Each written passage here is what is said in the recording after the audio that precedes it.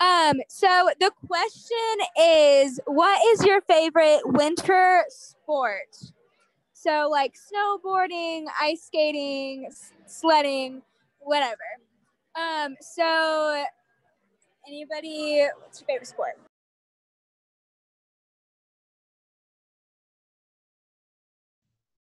Mine's watching bobsledding. I know I don't participate in it, but for me, that's always really fun to watch.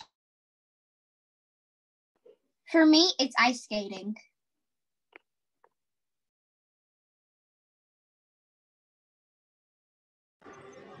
Fun.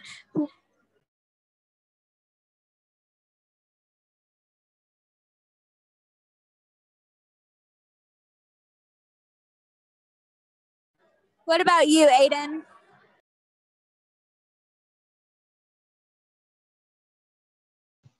I don't really have a favorite winter sport. I don't know much about winter sports.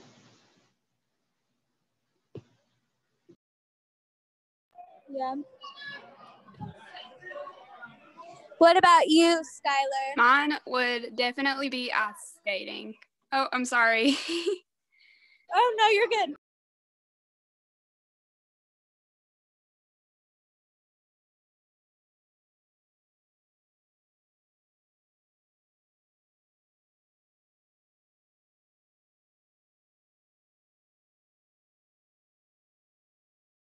What about you, David? Probably skiing.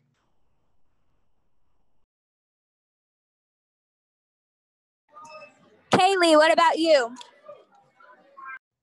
Um, mine is probably ice skating. Me too. Mira, what about you? I like sledding.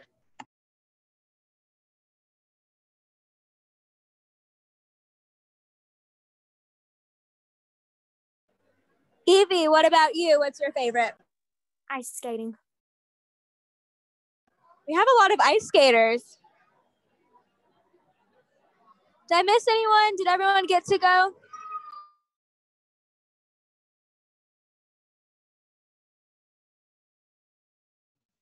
Hey, Mira, did you go? Yeah.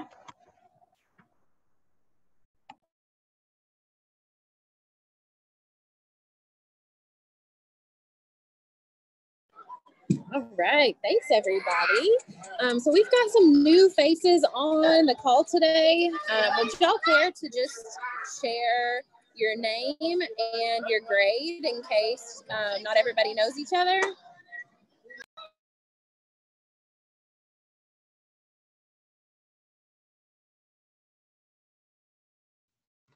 I'll go first. Hi, I'm Grace, and I'm a junior in high school. Hi, I'm McKenna. I am a freshman. Hi, I'm Mira and I'm in seventh grade. I'm Aiden and I'm in seventh grade. I'm Hi, Sky- I'm Chloe. Oh, sorry. It's okay. I'm Skylar and I'm in fourth grade. And I'm Chloe, and I'm in 10th grade. Um, I'm Kaylee and I'm a freshman. I'm David and I'm in sixth grade.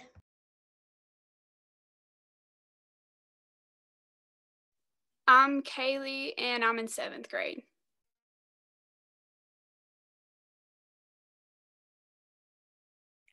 I'm Evie, and I'm a freshman.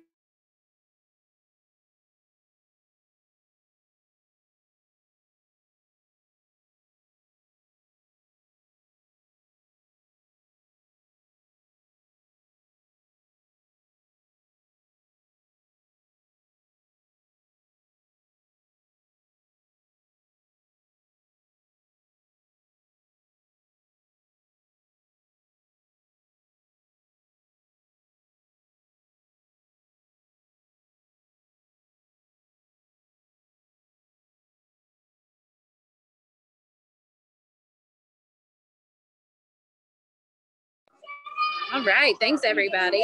Sorry for my delay. I was helping Brooklyn get on. Um, so Emma couldn't be with us today. She is in another training, but I wanted to check and see if um, Grace or Kenna or anybody else had anything they wanted to share from SADD or other stuff.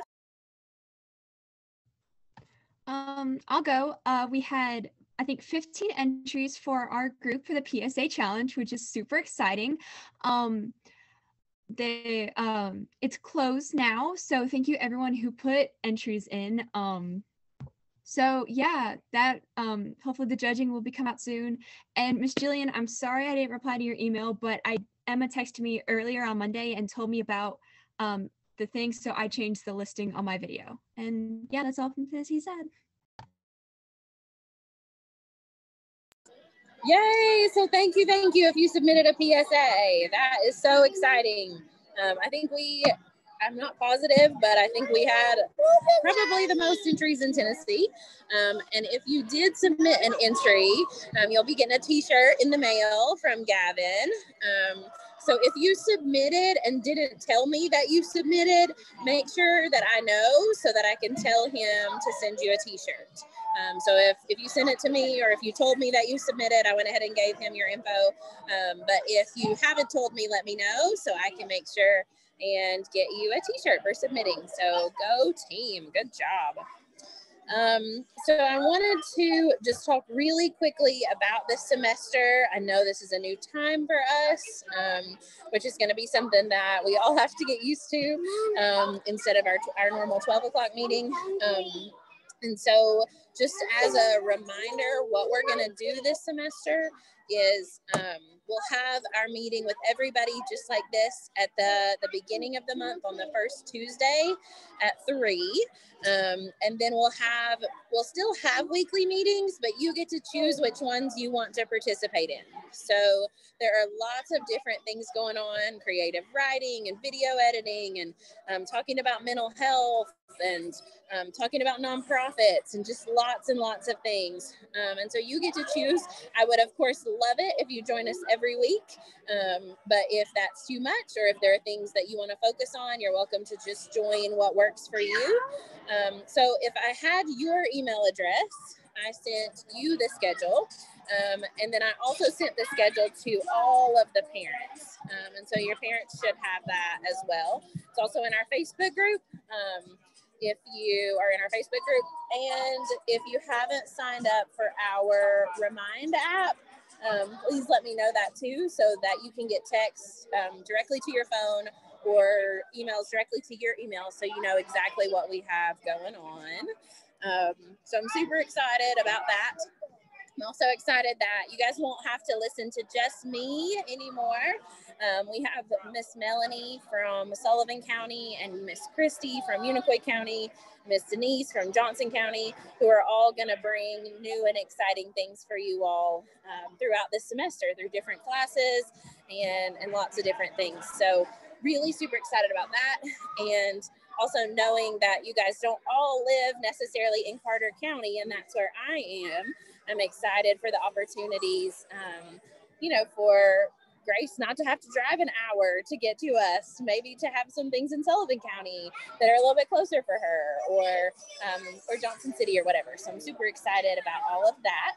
Um, so what we're gonna do today, so I know we just finished up um, the PSAs on distracted driving and roundabouts and all of that. And so we're gonna gonna watch a little video today um, about distracted driving and about the impact that it had on one family. Um, so you all will be, some of y'all got them last week in my office. Um, if you were there, if you weren't there, you'll be getting a little workbook in the mail that'll go along with this. So um, you can be watching out for that soon. Um, but we're gonna watch this little video. There's Emma, she joined us. So we're gonna watch this little video about that today. Do you have anything you want to add, Em? We talked about PSA contest already. Yes, I just want to say thank you guys so much for entering your PSA ideas. We were actually able to go over our goal, which was 15 PSA ideas. Thank you, everyone. And uh, good luck. I hope that you guys all place, even though there are only 10 spots. And since we got over more than 15. That means not everyone will place, but good luck in that.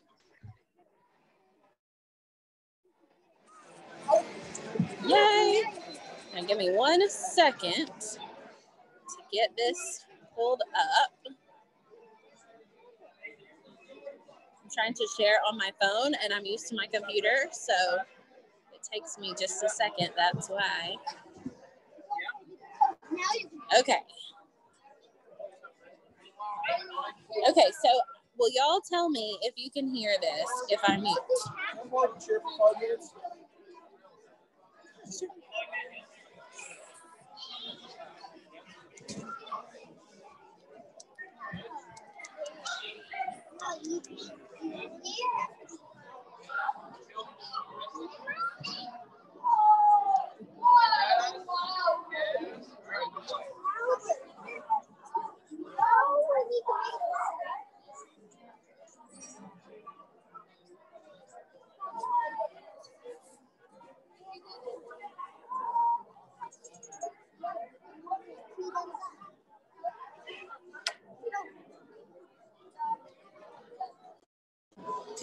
hear the video?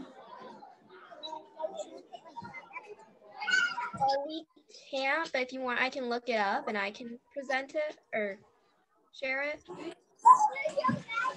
Yes. And will you?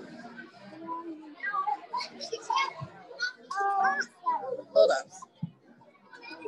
Okay, Emma, I'm gonna send it to you. Will you share it from your computer? Okay, I'm gonna just text Mm-hmm.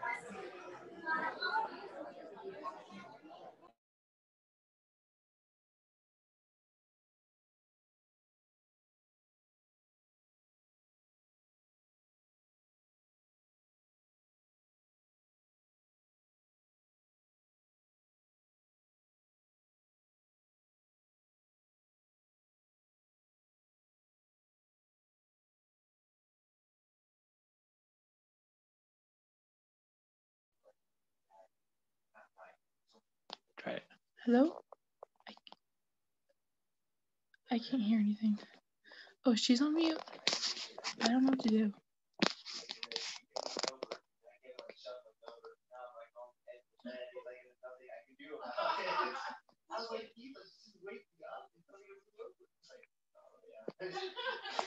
All right, can everybody see Emma's screen? All right, everyone see my screen?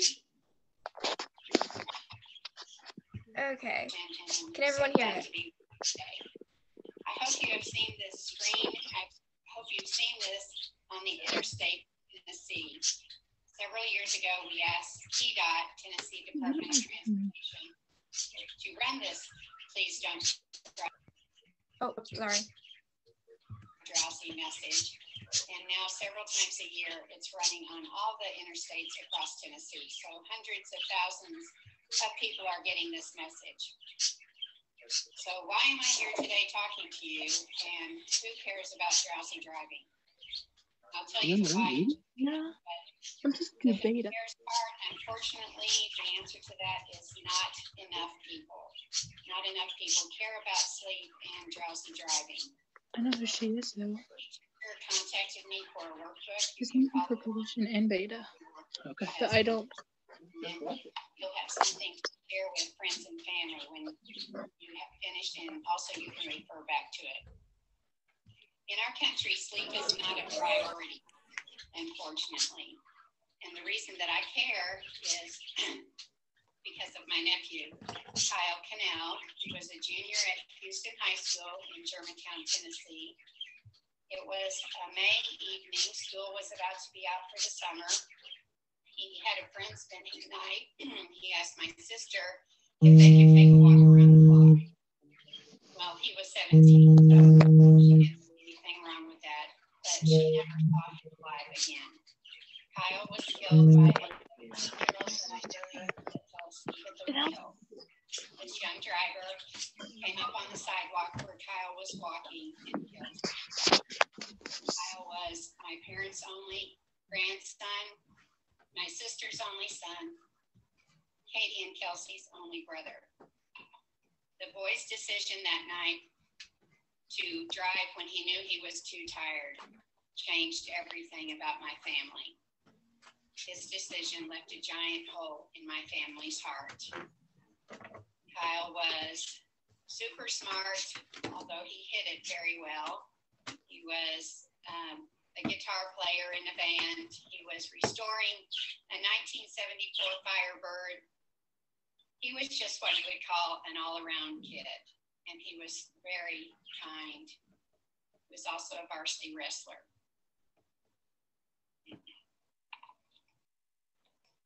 These words, I'm so tired, I can't wait to get home.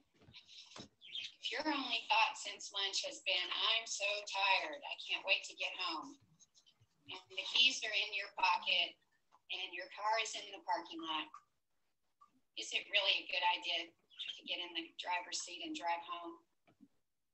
The boy that killed my nephew was five minutes from home. Five minutes. What could happen in five minutes? Well, everything, everything changed about our family because of that decision to drive. You have other options. Just because the key is in your pocket does not mean you need to go out there and get in the driver's seat. You can get on the bus. You can ask a friend. You can call your parents and say you're too tired to drive. You don't want to risk it. I'm sure they'll have some ideas to help you or they can come get you don't drive just because the key is in your pocket. So what is drowsy driving? Drowsy driving is operation of a motor vehicle while being impaired by a lack of sleep. And what causes it? Well, of course, not enough sleep. You can do something about that. Another cause is shift work. Shift work is when you are working odd hours, like you work all night and sleep during the day. This goes against your body's circadian rhythm, and it's very difficult to do, and it's very hard on your body. So, why would anyone do that? Well, think about the people that do shift work, like doctors and nurses and fire and police, all our emergency personnel that we need so desperately. Just know if you go into this line of work that it's really hard and the experts say that even on your days off, you're supposed to keep those same hours. So that doesn't doesn't leave much time for family or friends. Another cause of drowsy driving is medication. On every bottle of doctor prescribed medication, pretty much every bottle, it will have a warning label that says may cause drowsiness. So that means it may cause drowsiness or you may have some other reaction to it. It may make you wide awake, too alert, too hyper focused on everything except your driving. So be careful when you're on medication. And sometimes you're not sick enough to go to the doctor, but all day you've been feeling kind of crummy and you keep telling yourself, my head hurts, my tummy hurts, I don't feel good. Don't drive. You're not going to do a good job driving. Your focus is on your health at that point, not on the road and getting to your destination safely. Stress. I bet some of you teens experience stress on a daily basis. So, what would stress have to do with drowsy driving? Well, stress affects your driving or your sleep in two different ways. One, you can't go to sleep because you've got so many things on your mind, so many things that have to get done or two, you can't stay asleep. I don't know which is worse, but they're very, both very annoying and they definitely affect your sleep. And the last thing is alcohol. I'm sure you've heard plenty about not drinking and driving. And you're smarter than that. So, drowsiness can cause a slower reaction time, impaired judgment and vision, decline in attention to important signs. Like you're driving to Nashville and you end up in Chattanooga. I have heard stories like this. This actually happens. I heard of a policeman tell this story one time that he ended up in Kentucky because he'd been working something like 30 hours straight. So um, a decline in attention to important signs is a very real thing. Decreased alertness and aggressive behavior. problems processing information. You see a deer in the road, and this time of year in Tennessee, deer are everywhere, and you just keep heading that direction. Instead of thinking of what am I going to do to avoid this potentially terrible situation, you just keep heading towards the deer. You're just not processing. And micro sleeps. A micro sleep is a brief sleep episode where your eyes are open and you appear to be awake, but nothing is really happening upstairs. Who's most likely to be involved in a sleep related crash? You're the reason I'm here today. Young drivers, 16 to 25 year old, commit up to 70% of all drowsy driving crashes. Let's talk about male or female who commits more crashes. Males, they have this wonderful thing called testosterone, and girls, you have that too, but teen boys have a lot of testosterone, which is great if they're trying to win the Super Bowl or the track meet or the basketball game.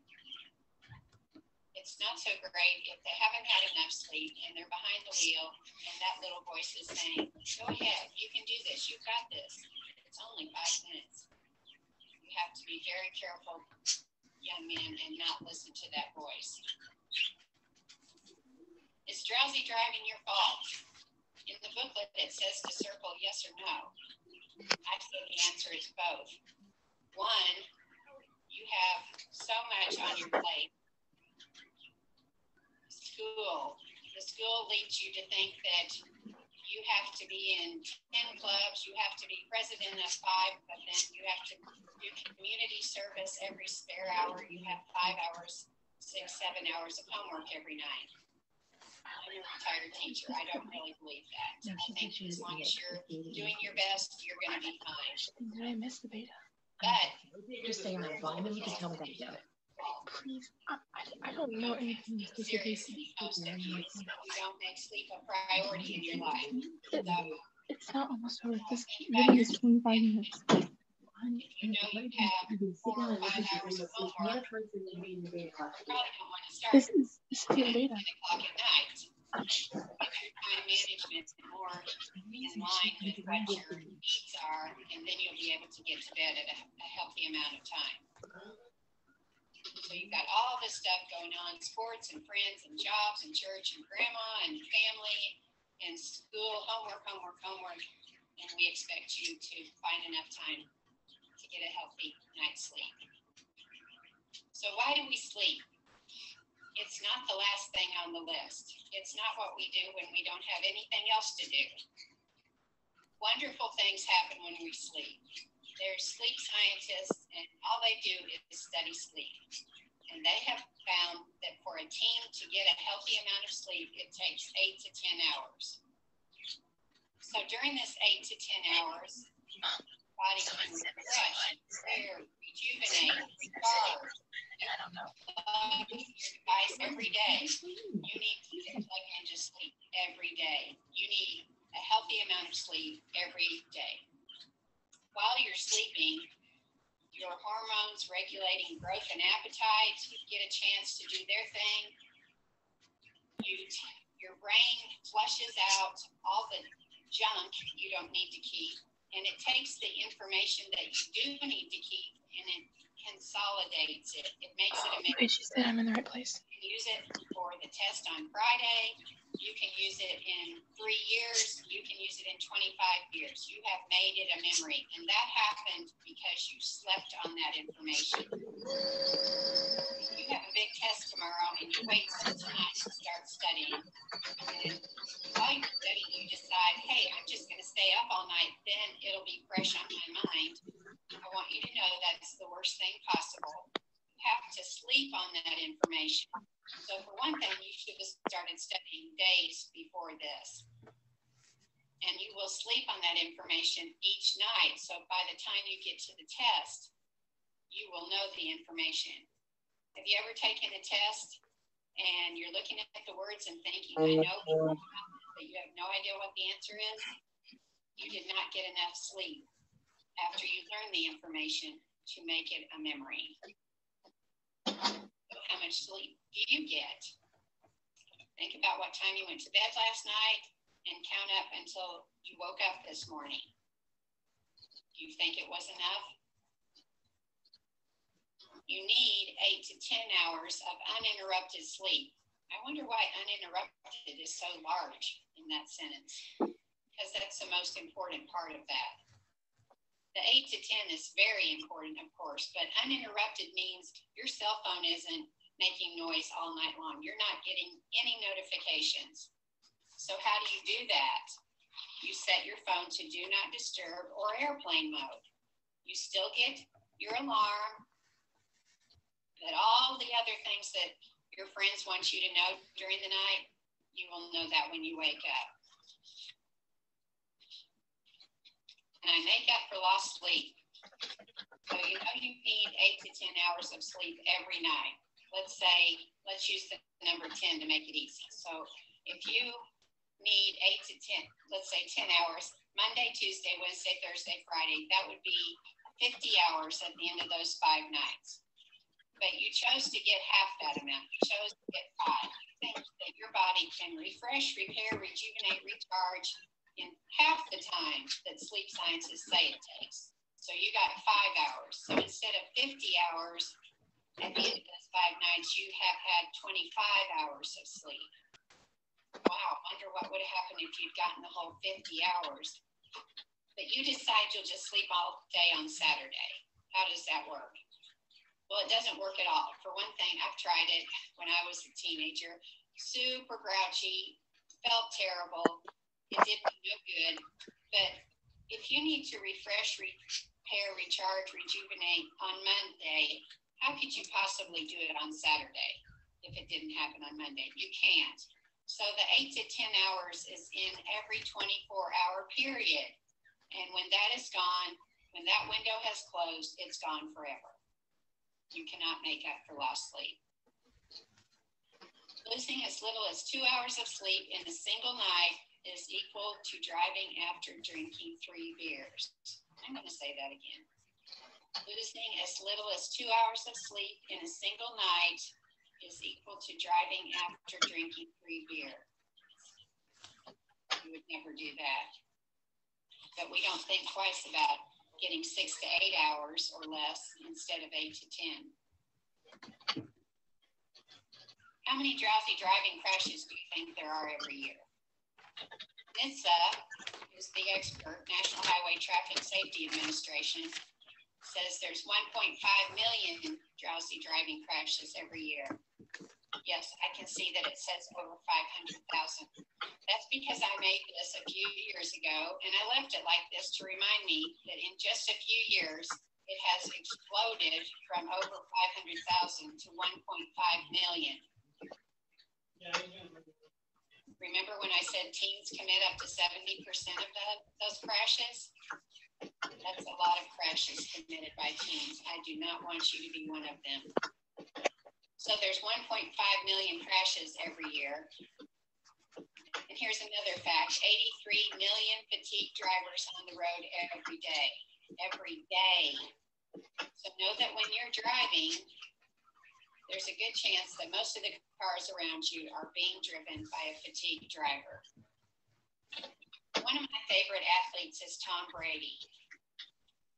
43 years old and still at the top of his game. And the reason, one of the reasons why is he puts his health first and he especially puts his sleep first. I know for a fact that he's in, in bed every night during the season by eight o'clock so that he can get as much sleep as his body needs to repair and rejuvenate. He is so concerned about sleep that he has his own line of recovery wear, which are actually pajamas, $100 pajamas and they have copper running through them. Copper is for repairing. So um, when you buy his $100 pajamas, you get this book. It's called Tom Brady and the Tortoise and the Hare. And the story goes that the tortoise and the hare challenged Tom Brady to a football game of all things. So the tortoise and the hare uh, go out, they drink carrot juice, they uh, cause trouble. I think at one point in the book they went to jail. Tom Brady goes home and goes through his keys to a good night's sleep. Who do you think football game. Of course, Tom Brady. Keys to a good night's sleep. Have a time routine. My bedtime routine is wash my face, brush my teeth, get my pajamas on, and read. I do this every night, try to do it about, about the same time. This is a signal to my body that I'm wrapping the day up. I'm ready to go to sleep. Things are winding down. You need to have a bedtime routine. You probably have one. It's probably the same thing you've done since you were a little kid. And remember, it's a signal to your body. You need to turn off your electronics 30 minutes before bed. They're stimulating, they keep you alert, and you don't want to be alert when you're trying to go to sleep. It's okay. A cool room is better for sleeping than a warm room. You know this for sure if your air conditioning has ever gone out in the summer. Read or listen to music before bed. I like to advise teenagers to read their science book or history book or things that I think are boring. You might enjoy it, but a book that's going to relax you. And sleep a priority, not the last thing on the list. Warning signs for drowsy driving. Cold air and loud music will do absolutely nothing to get you safely to your destination. I mean, really, are you going to risk your life thinking that the air conditioning is going to get you there? They do serve a very important purpose, however. Cold air and loud music, if you're thinking, that's what I need to keep me awake, then you are too tired to be driving. You need to get out the car as soon as safely possible. Do not risk your life on thinking that cold air or loud music is going to save you. Another warning sign is impaired vision and reaction time. These remind me of teenagers at school. Trouble focusing, keeping your eyes open and your head up, daydreaming, yawning, rubbing your eyes. I wonder how many of you have actually fallen asleep at school. Usually a lot of hands go up at this point. Drifting from your lane, feeling restless, irritable, and aggressive. If you experience any of these warning signs, you need to get out of the car as soon as safely possible. I didn't say to pull over to the side of the road right then. I said as soon as safely possible. Avoid drowsy driving crashes. Yes, it says accidents. I left it like that because I want to remind you that it's not an accident. If you have gotten two or three or four hours of sleep for several days, or that's how you spend your life, getting too little sleep, you fall asleep at the wheel. That is not an accident. An accident is just an accident. A crash is a predictable outcome of your poor sleep habits. So to avoid a drowsy driving crash, get sleep before hitting the road. Some of these are about a long distance travel, and some of these are about a five minute drive. But all of them include getting a healthy amount of sleep. If you're driving uh, to grandma's house or to college, drive with a buddy, somebody that's going to say to you, Are you okay? Do we need to stop? Can I drive while you get a little bit of sleep? And stop every two hours for a break. And my tip for that is to have lots of water in the car and just drink and drink and drink. And your body will let you know that you need to stop, have a rest stop. Avoid driving at times you're normally asleep. If I go to bed every night at 10 o'clock, and tonight I decide to drive to Nashville at 10 o'clock, and I get in the car and I'm barely moving, I'm barely breathing, it's dark and it's cool, what is my body going to think? That I'm asleep. So avoid driving at times you're normally asleep. When I was a kid, my parents would always throw us in the back seat and take off from Texas to Indiana. I think it was like 22 hours. They didn't want to listen to my sister and I fight in the back seat. So they would drive all night. That's the worst possible thing. And the reason why many, many, many crashes are at night. Get out from behind the wheel and wake up. You need to stop when you stop for a break. You need to walk around and take some deep breaths. In a car, you're just breathing the same old air, but you also need to get your blood flowing. And uh, by waking up, I, I am not saying to depend on an energy drink. Energy drinks have serious health consequences for teens, and we do not recommend them. So if you're feeling sleepy behind the wheel, the Kyle Kiihnl Foundation recommends that you pull over to a safe, well-lit location with the doors locked. Safe, well-lit, doors are locked. This is a rest stop in Tennessee. We have them everywhere in Tennessee. There's hundreds of them. It's a very safe place for you to pull over. Have a caffeinated beverage, which it can be one of these, strong coffee or super strong coffee and a 30 minute nap. Pull over to a safe, well lit location, doors are locked, have a caffeinated beverage, and a 30 minute nap. It takes 30 minutes for the caffeine to kick in. I'm not saying that when you wake up, you're good to go. I'm saying you're better prepared to make a good decision. Am I good to go? Should I call my parents? Should I get a hotel? You, you'll have some choices to make, but your mind will be more alert for you to make those choices. I would love for you to take the pledge to not drive drowsy at don'tdrivedrowsy.org. There's also most of the information I just told you today on that site. And remember that a pledge is a promise, a promise to your friends and your family and yourself that you would never get behind the wheel if you have not had enough sleep. For more information, you can go to KyleKiihnlFoundation.org. And um, we give a college scholarship every year to a graduating senior in Tennessee, and all that information is posted there. It is due every year in February. Your homework tonight is to talk to your parents. Mom, have you ever driven drowsy? Dad, what about you? If they're being honest, they'll probably tell you, yes, they have. I have.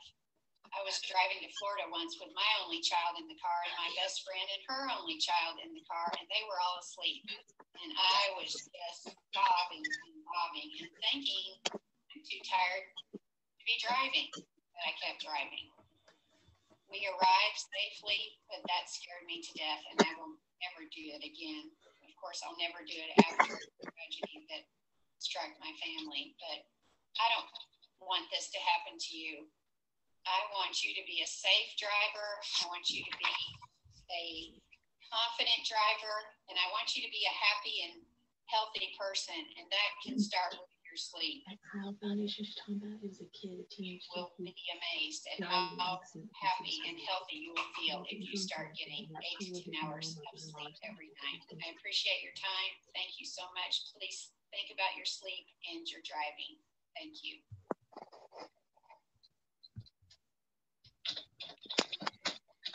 So, did anything about that video kind of surprise you? Uh, you can put it in the chat. Oh, could everyone hear everything? Okay, just making sure. I just saw something from the chat. But anyway, uh, go ahead and put in the chat if like something you didn't know before. We'll put that down. Did you know anything that she talked about? Did you not know anything that before she said something? No, because your mom's told her that on her your whole life.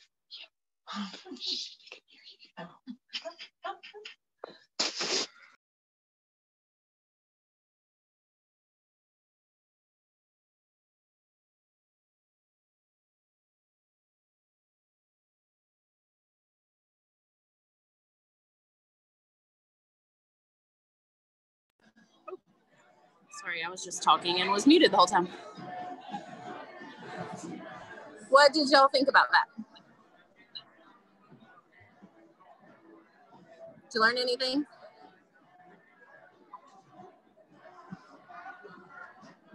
I don't know why, but I never realized it took 30 minutes for coffee to kick in. I just thought I was just drinking more of it at a time. Interesting. Kaylee says, I didn't know that sleep was that big of an issue for driving. Yes. The only time I ever really remembering feeling like I shouldn't drive and having somebody pick me up was when I was in college and I worked at the hospital. And so I would work all night and then go to school during the day. And I remember just being so tired and thinking like I probably shouldn't drive right now and having somebody pick me up um, because I think sometimes we don't even realize how tired we are. And I know some of y'all aren't quite old enough to drive yet, but I think this is really important to, to be thinking about now because it won't be too long before you will be driving. So, any other thoughts on that?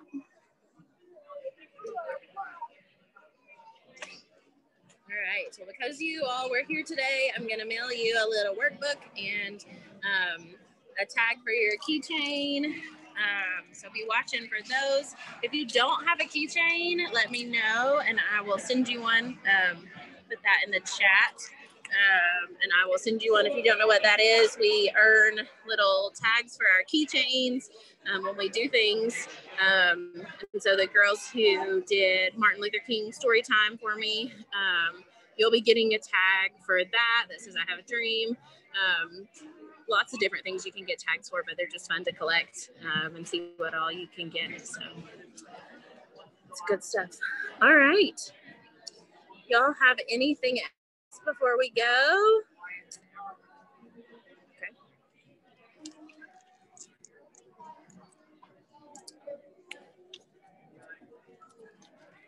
Okay, so just a couple more little um, housekeeping kinds of things.